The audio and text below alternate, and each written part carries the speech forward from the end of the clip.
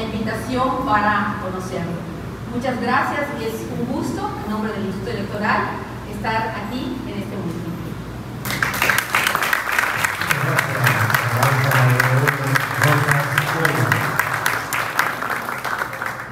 A continuación, el presidente municipal de la ciudad de Puerto de Progreso, Julián Zacarías Curi, dirigirá un mensaje a todos los presentes. Maestra María de Rosas Moya, consejera presidente del Instituto Electoral y de Participación Ciudadana de Yucatán, señores regidores, integrantes del Honorable Cabildo, señores consejeros del Instituto Electoral y Participación Ciudadana del Estado de Yucatán, señores directores, titulares de unidad, subdirectores del Ayuntamiento de Progreso, medios de comunicación y público en general. Muy buenos días. Uno de los compromisos de esta administración municipal asumió desde un inicio fue la transparencia y con el fomento a la participación ciudadana en la definición de las estrategias y políticas públicas del periodo 2018-2021. Es por eso que durante todos estos meses este gobierno ha realizado de forma constante ejercicios de contacto con distintos sectores de la población del municipio, a fin de poder determinar y priorizar las obras y políticas a ejecutarse en Progreso y sus comisarías. Es por ello que en estricto cumplimiento a las leyes en materia fue instalado el Consejo de Planeación y Desarrollo Municipal Copladero, en el seno de la cual diversos actores como cámaras empresariales, centros universitarios, sociedad civil han tenido una voz determinante en la conformación de lo que es hoy ya una realidad, el desarrollo del progreso. Conforme a la Ley de Participación Ciudadana, que regula el referéndum y la iniciativa popular del Estado de Yucatán, en sesión pública, el Honorable Cabildo aprobó el catálogo de políticas públicas y actos trascendentales para el ejercicio 2020 en el municipio, en el cual destacaron distintas acciones en materia de obra pública y prestación de servicios, algunos de los cuales se encuentran ya inaugurados o en marcha, tales como el rescate de la Casa de la Cultura, la remodelación del malecón en su primera etapa, así como la repavimentación de distintas arterias de la ciudad, entre otras. Mismo catálogo que se encuentra, por supuesto, a disposición de toda la ciudadanía en la página web de IEPA. Quiero agradecer de manera personal a la maestra Rosas Moya y a los ejecutivos de IEPA por importante acompañamiento brindado para la conformación del catálogo 2020. Quiero concluir diciendo una sociedad informada es una sociedad desarrollada y como siempre sostenido, juntos, sociedad y gobierno, podemos alcanzar grandes cosas y un progreso para todos. Muchas gracias.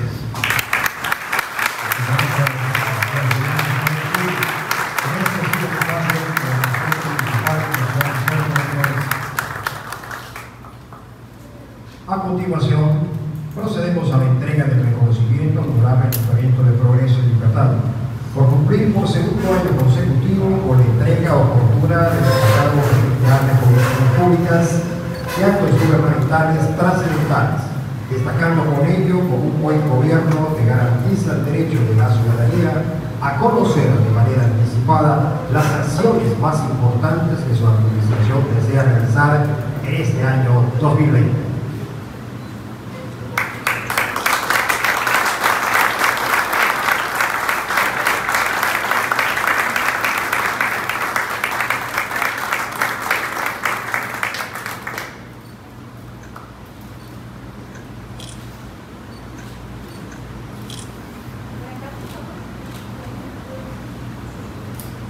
Para finalizar este acto agradecemos la presencia de los RPC, invitados especiales, público general, medios de comunicación, a nombre del Instituto Electoral de Participación Ciudadana de Yucatán, muchas gracias por el famoso atención y su presencia. Tengan ustedes muy buenos días.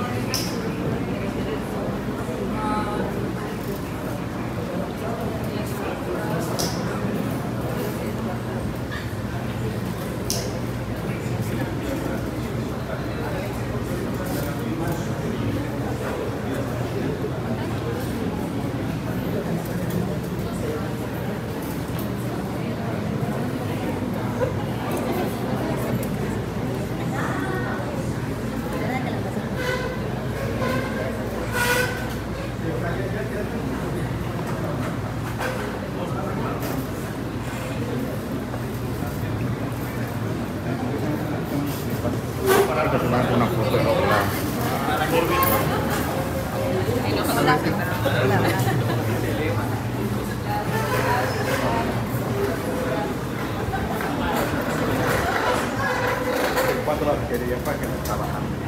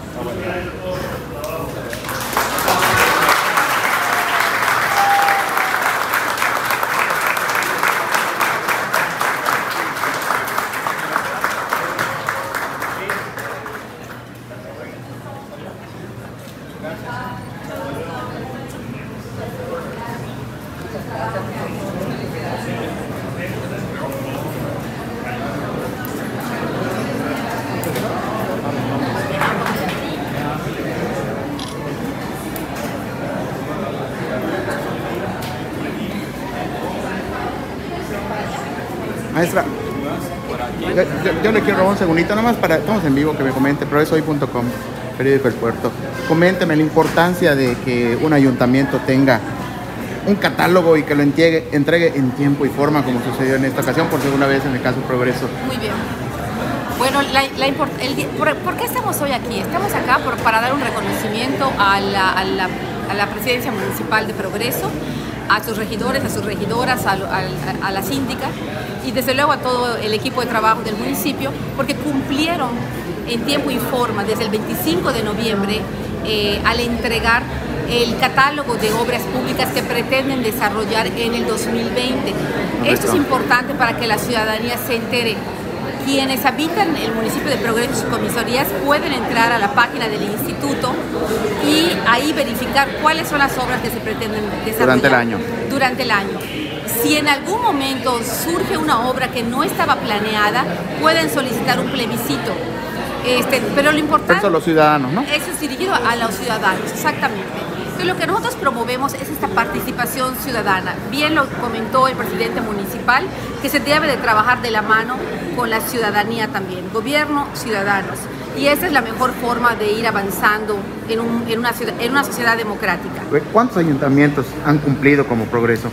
Bueno, eso, eso es interesante también porque hemos estado haciendo un trabajo muy minucioso en todos los municipios para que cumplan y que puedan difundir todos los municipios lograron este año cumplir en tiempo y forma.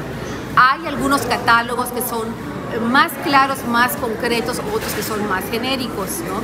Entonces, este, pero la importancia es que la gente los conozca, porque ya están cumpliendo los, eh, los, municipios. Ahora la importancia es que la ciudadanía conozca esta ley. Maestra, ¿este listado incluye solo las obras o detalla costos, tiempos de ejecución? No, no, no detalla costos, no detalla costos, porque hay, hay un dato interesante.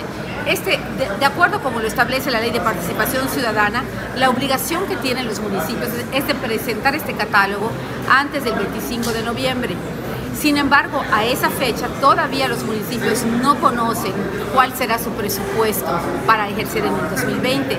Entonces puede ser que hayan algunas obras que se manifiesten en el catálogo, pero de acuerdo a los recursos que, se les autorizaron eh, recibir, no podrán en un momento dado este, determinar. Así es que no se cuenta con eh, los recursos. Algunos municipios sí son más concretos en cuanto a cuánto les va a costar, pero la ley no obliga a ello. ¿Existe algún candado como para que las autoridades municipales, los gobiernos municipales no repitan o vuelvan a incluir obras que, que no hicieron en años pasados o algo así? Para que, sean más transparentes en ese sentido. Claro, yo creo, yo creo que por ejemplo poner, poner este, eh, digamos, la construcción del tramo de la carretera que va de aquí para allá. un año un pedacito y si la ciudadanía ya sabe que eso se puso el año pasado, entonces no tendría caso. Es simplemente comparar lo que se dijo el año pasado con lo que se dijo este año y bueno, ahí se ve claramente. Verdaderamente es un ejercicio de rendición de cuentas y de transparencia que sí vale la pena que los ciudadanos, ciudadanos lo conozcan creo que hay poca información y que vale la pena rescatar esta ley de participación ciudadana que está desde el 2007 y que no se conoce todavía. Y para promover un plebiscito, ¿qué es necesario? ¿Qué, qué se requiere? Se requiere que primero que nada conozcan el catálogo. Segundo, que si no están de acuerdo con alguna obra en particular, eh, junten determinado número de firmas de acuerdo al tamaño del, del municipio. Ajá. Y una vez que firman esta, consiguen estas firmas de la ciudadanía, las presentan al instituto y entonces eh, el instituto... Pero hay algún mínimo de firmas para Sí, hay un, es un porcentaje. Este porcentaje eh, va de acuerdo al, al- al tamaño del municipio. Por ejemplo, pudiera ser, de- por ejemplo, si es una obra para todo el estado es el 1%. Un municipio como Mérida es el 2% de la lista nominal De Mérida. de Mérida. Entonces, de acuerdo al tamaño del municipio, eh, va aumentando el porcentaje. Por ejemplo, un municipio muy pequeño se requiere el 10% de, la, pobl- eh, de, de la- de- de la- de firmas. ¿Ha habido casos de plebiscito en el sí, se estado? han realizado tres, tres, tres plebiscitos en el estado. ¿Nos de- recuerda cuáles? eh, no recuerdo muy bien ahora cuáles, pero de esos tres, eh, uno procedió, es decir, no se logró porque para empezar tiene que votar el 40% de la población y es vinculante lo que diga. Si el 40% de la lista nominal eh, vota eh, por un sí o por un no, esto es vinculante y se, la obra se quita. No se vota por hacer un parque o hacer otra cosa. No, no es, una, no es una opción de Para escoger para qué. escoger qué. Es una opción de decir, esta obra no quiero ¿Sí que sea. o no? Exacto. ¿Qué es lo que quiere Ese la es el ciudadanía? plebiscito. Nada más recuérdanos ya por último, maestra, dónde pueden consultar estos, en el caso de Progreso, el catálogo. El catálogo se puede, eh, se puede este, checar en la página del instituto www.iepac.mx. Muchas gracias, buenos días. Al contrario, Al mucho servirle. gusto. San Felipe y. Ahí está el dato, ahí está el dato. Ahí. Sale, muchas gracias. Ándale, encantada. Muy bien amigos y lectores de Prosoy.com, pues bueno, fue la entrevista con la maestra María Lourdes Rosas Moya del IEPAC, donde pues nos comenta los detalles sobre el catálogo de políticas públicas y actos gubernamentales trascendentales que ya se encuentra en la ley y que pues sirve para consultar eh, las obras que va a realizar el ayuntamiento y los ayuntamientos en general en sus respectivos municipios. Muchas gracias a todos por su atención. Seguimos en la señal de.